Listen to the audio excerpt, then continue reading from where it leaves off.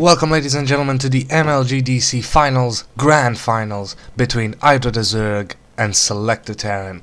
If you guys have been following my channel so far, we know that so that we've been following IdrA and the Protoss HuK on their way to glory.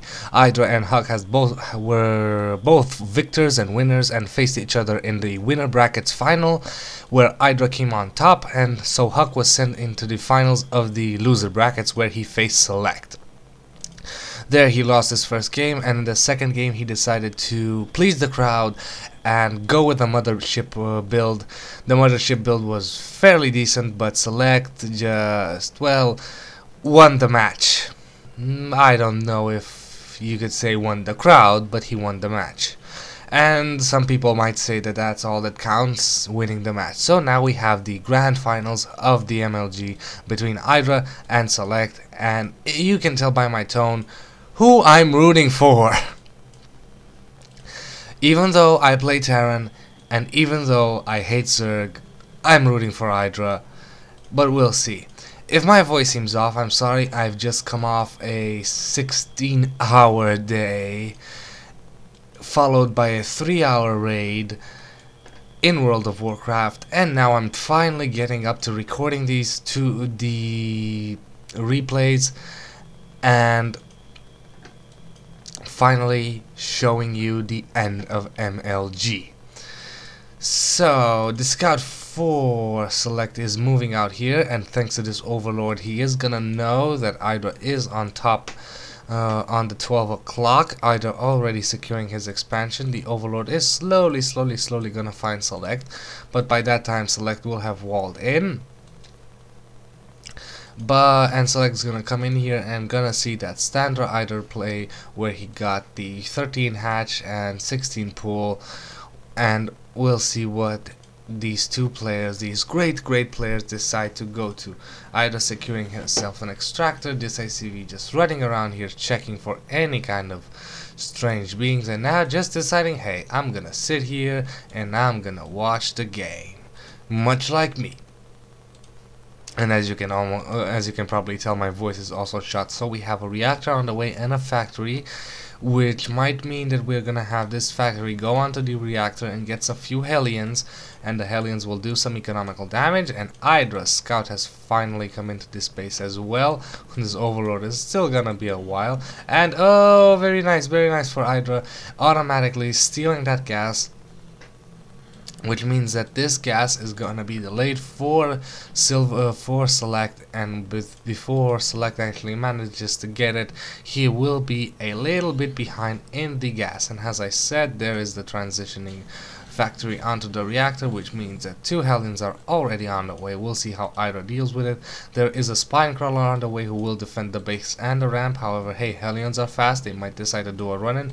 And IdrA deciding not to do the cancel and build it up some more, but just getting this extractor and keeping it up. It has 500 health at um, 500 health. So, hey, it's gonna be here.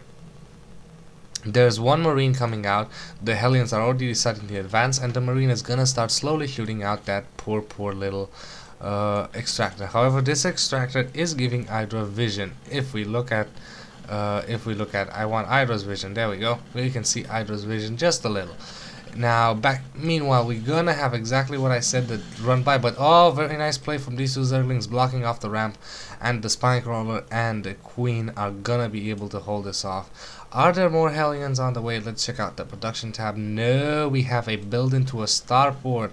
Where is that starport even being built? Very nice, a little bit far away. So, in case a overlord comes in from this side, it's gonna be a while until this starport gets discovered, and we already have a medevac so this medevac is not gonna do that much I suppose the medevac is gonna just take these and drop them into the main but this all depends on the timing because once IdrA secures that lair tech we're gonna see some build an army from him. And we're gonna see some build from army from him. You gotta love casting when you're really really tired. You just put, spew out random words. Hey I'd like Hellion Overlord Voodoo John explosion. Boom! Awesome! Well what I wanted to say is that uh, we're gonna see IdrA macro up into a very nice unit composition that will put select in a bad position Hey, I said that entire phrase without actually taking a pause. Let's see, now we have this Hellion, these Hellions trying to destroy that creep tumor before it actually spreads. And now here we go. Mount up and move them out. And this uh, dropship is going to drop these uh, Hellions in here and Hellions do a lot of damage to Zerglings and two drones and here comes the drones and here comes the Zerglings and gonna take out one Hellion and gonna take out two Hellions and now this little medevac is being chased down by the queens and the Zerglings are carefully standing around here to make sure that there is not another drop and here comes the Hellions all burning up more Zerglings and gonna try burn up some more Zerglings and here comes the surround and burning up some more Zerglings and picked up dropped picked up so very nice mi micro from both players. Let's check out that APM 252 and 160 IdrA is doing fairly well and we have a Thor on the way so yeah we're gonna have a Thor drop Again, very nice play, a very nice play from Select. I mean, you can't take a, you can't take anything away from him, uh, but but this kind of play is again out of the build, call out of the book called "Let's Piss Off IdrA." In my opinion, a Thor drop isn't exactly that that necessarily have a good strategy but hey we'll see what this Thor does because uh, on the other hand he does have quite a bit of marines here so marines might be able to oh and now sacrificing these hellions probably to secure room for that Thor and here we go this Thor's loaded up in the medevac. I always love how these Thors actually don't fit inside the medevacs. Even though two tanks are about the same size as the Thor uh, but two two tanks actually fit inside the medevac.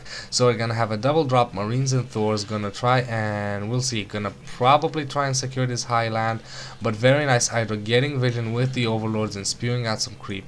I think he's gonna see this drop coming but sadly there's not much he can do about it. And there are two mutas on the way three mutas on the way with upgrades. So uh, IdrA is going ling muta spine crawler repositioning and I uh, select needs to take out the spine crawler before it gets inside the base we have. Let's see that unit size we have. 9 meters 9 meters in a magic box might be able to do enough to Thor but however marines are here to defend it because the Thor is just not practical against these uh, mutas now that the magic box is alive. And I gotta say fix the goddamn magic box trick.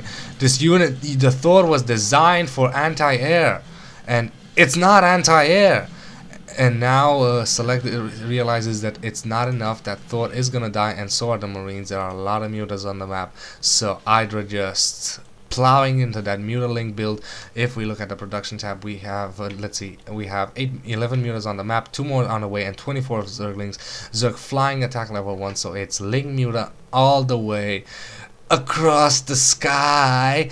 And we're gonna come in here and we're gonna take out these marines. There is an expansion out and select just GG's because IdrA knows he's one and so does select. And that means IdrA is up one. Yes. I'll see you guys in game two